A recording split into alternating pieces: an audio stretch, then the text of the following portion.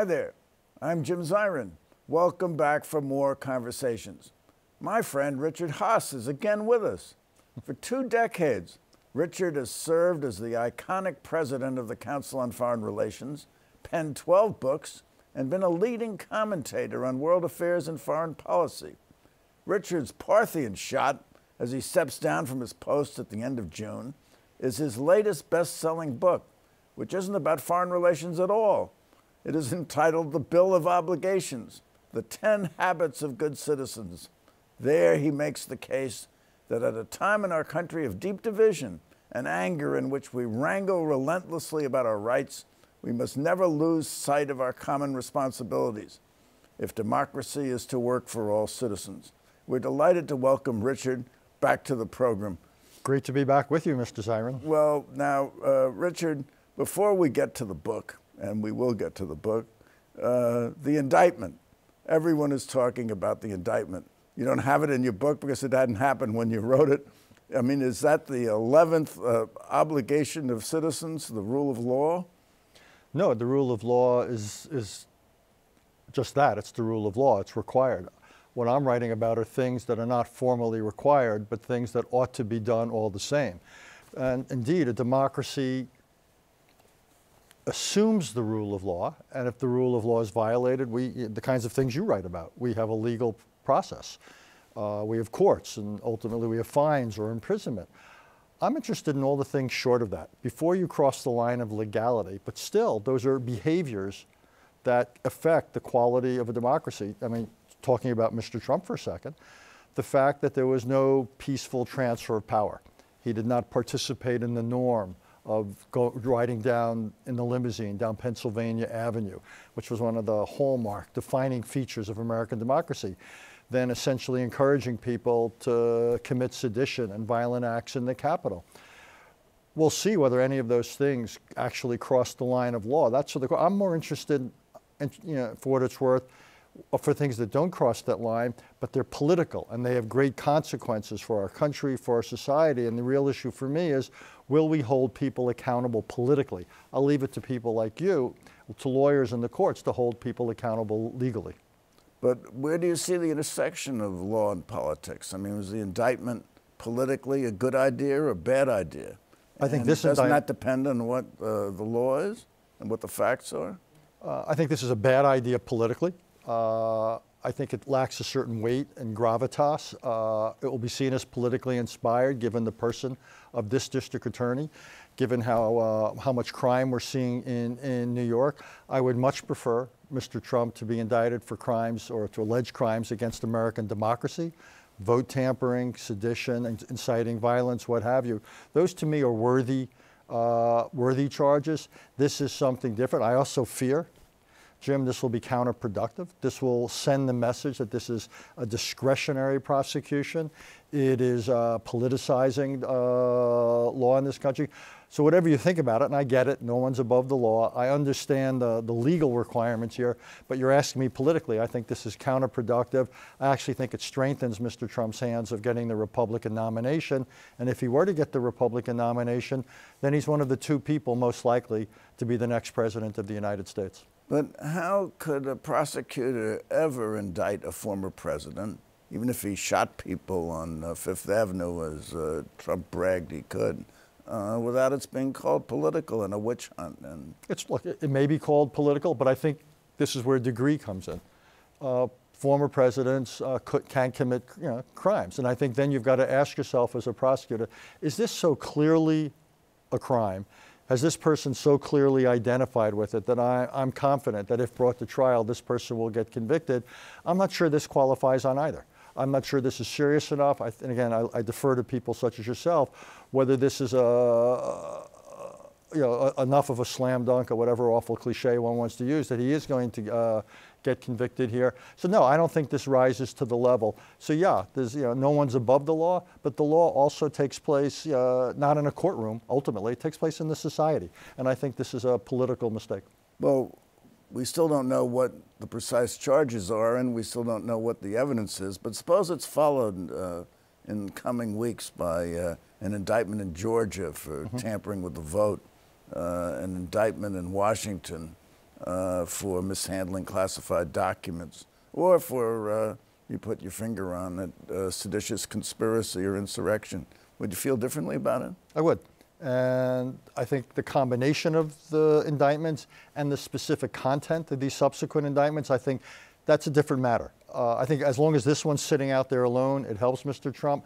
I'm not smart enough to know whether you have multiple indictments and ones that are more uh, integral to the political process, whether those begin to hurt him. Maybe. What'll really matter is not so much the 35% of the, of the base that's already there for Mr. Trump. What will matter are the Republicans, both the candidates and the voters. Right now, all the candidates are rallying around Donald Trump. Well, except Asa Hutchinson. Okay, all the major candidates are rallying around uh, Donald Trump, or the would-be major candidates. We'll see what happens if there's others. My hunch is they'll put their finger out and they'll get a sense of what the politics uh, are and whether uh, his base is still rallying with him. We'll see. I can't answer your question. But the risk is, again, to me, that this first one is counterproductive uh, and strengthens him and makes it more difficult for others to attack him on the issues where he ought to be attacked, lest they appear to be somehow taking their lead from a, a progressive DA in New York. Let's move on to your book uh, after all that. Uh, and your book is, talks about the habits of uh, good citizenship and to focus on habit.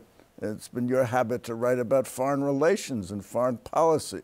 And here you write a book about uh, the obligations of American citizens uh, as citizens and obligations to one another. Uh, normally, we've thought of citizenship as being rights based. We have a Bill of Rights, we have 10 rights set forth in the Constitution. Uh, now you're saying uh, not only have rights, but we have responsibilities. Now, how did you make the transition from foreign policy to uh, the rights of citizens, and why did you do it? There's two coins I want you to envision. One is the coin of national security. On one side is all the stuff you expect me to write about foreign policy, diplomacy, military force, sanctions, what have you.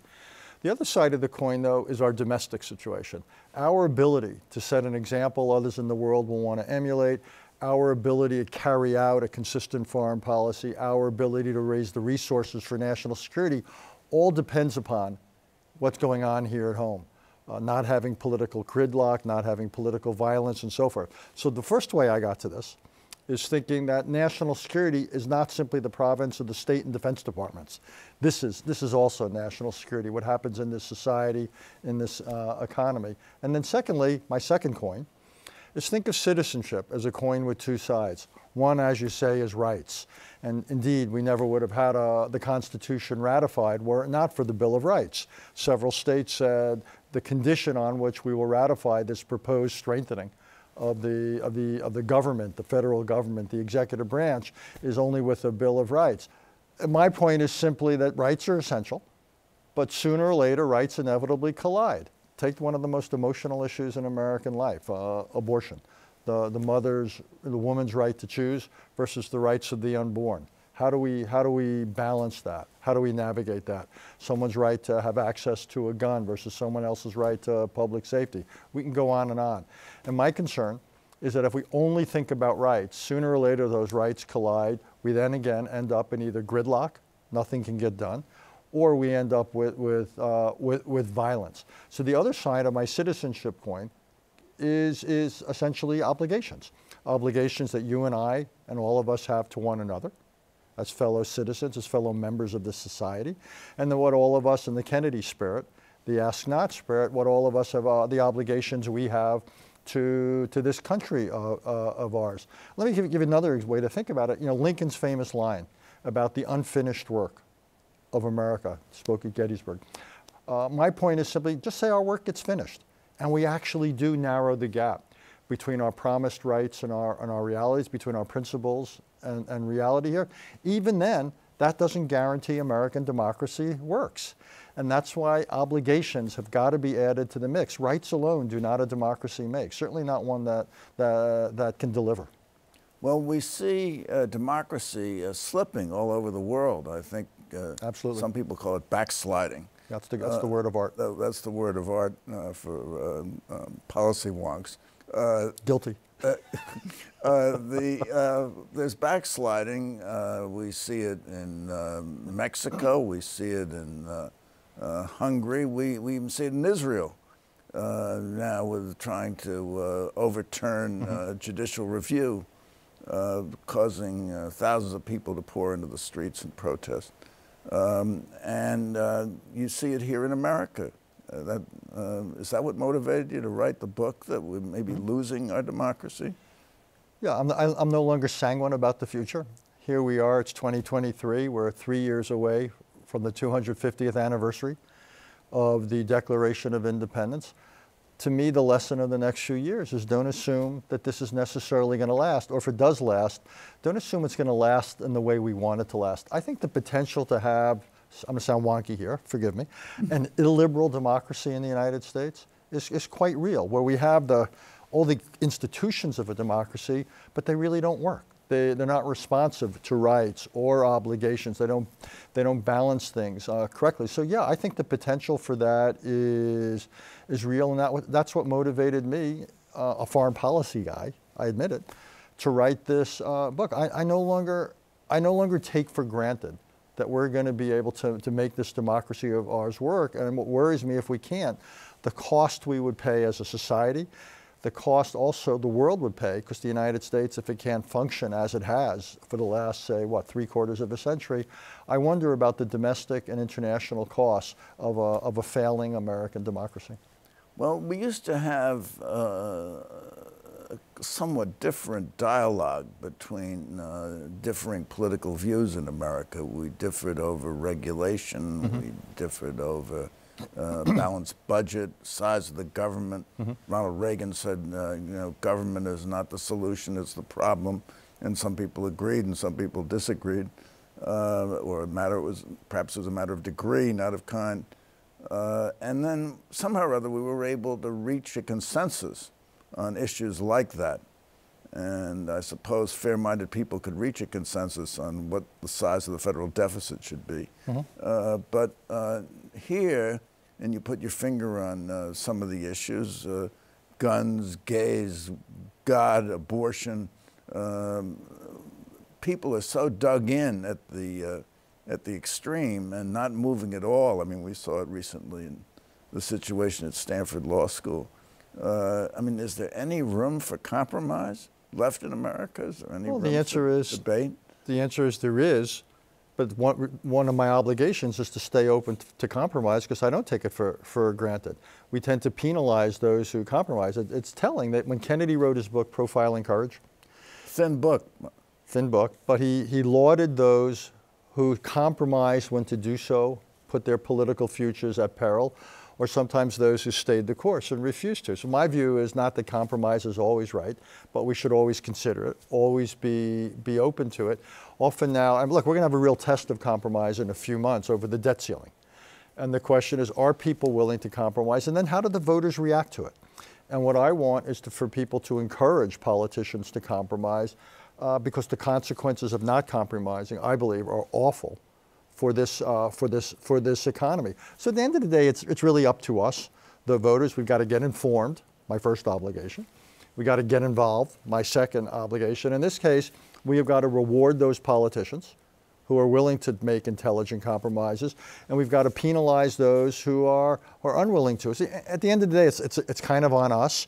I always say, you know, politicians cannot be counted on to be responsible. They can be counted on to be responsive. So what we have to do is put out there the incentives to act reasonably and responsibly and put out the disincentives or the penalty, penalties for those who refuse to. Well, uh, I guess going hand in hand with compromise is civility. Mm-hmm. Uh, and uh, you, uh, it's, it's, really hard to achieve compromise when uh, each side is savaging the other. Yeah. Uh, and you see it now with the indictment with uh, Trump uh, calling uh, District Attorney Bragg an animal and, and, savaging him, saying he's a, a psychopath and a degenerate. Um, and you have, it's not only Trump, it's uh, Marjorie Taylor Greene goes on television and talks about, and is unchallenged, yep. when she talks about Democrats being pedophiles. And, uh, I saw that. Look, the, civility is valuable. You know, arguments don't get better if you're uncivil. If you shout, if you disparage, if you, if you make ad hominem attacks, in my experience, it doesn't improve the quality of your argument. And also, if one is uncivil today, how in the world are you supposed to be able to work with somebody on another issue tomorrow? Incivility actually has real, has real consequences. It's one of the things that leads to, to breakdown in our, in our politics. I think, again, voters have to reward civility, have to penalize the opposite, and others in our society should speak up. How about religious leaders? More, you know, hundreds, you know, more than 100 million Americans every week goes to a house of worship, to a church, a synagogue, a mosque. So Although religious numbers are falling down. They are falling, but they're still pretty high. So where are religious leaders? I'm not asking them to take a stance on the issues, on debt ceiling, but it seems to me religious leaders, people with moral authority, can be expected to speak up and talk about civility, to talk about nonviolence, to talk about reaching out uh, to, to, others, to listening to them, not, not attacking them personally simply because you, you disagree, to be open to compromise. This is what we expect from, from the clergy. This is all consistent with Scripture. The idea of looking out for your fellow American, the idea of being your brother's or sister's keeper. These are not crazy ideas. This is, this is embedded in Scripture. Where are our religious authorities? Why are they abdicating their responsibility? Well, uh, that's a good question, and it sort of leads us into another area, which is education. Uh, particularly, uh, I mean, education in this country, we see it more and more. It's become politicized. Mm -hmm. Uh, it's uh, become weaponized. Uh, we can't teach children about Rosa Parks and who she was and what she stood for because it's deemed critical race theory. and what can be done to reform the educational system unless it's done by citizens and done by parents? Uh, well, the good news is there's not one system. So at the university level, I think there's a lot of scope uh, all these private colleges and, and universities, tremendous scope there. My goal is no one should be able to graduate from one without being exposed to civics. I think it's outrageous that you can graduate from more than 90% of America's colleges and universities without having taken a basic course about American democracy and what it requires of citizens to make it work. At the state level, a little bit more complicated because of state funding, certainly in some states like Florida, but you still have religious schools, you still have private schools, you still have chartered schools. In many states, you have a more open political environment. So the change can be introduced there. And again, one could have civics, the basics of American government and so forth, many of the things we're talking about. Obligations can be, can be uh, discussed. Also, New Jersey has just passed a law, Governor Murphy signed into law, of information literacy the whole idea of teaching young people how do you navigate this flood of information? How do you know a fact when you see one?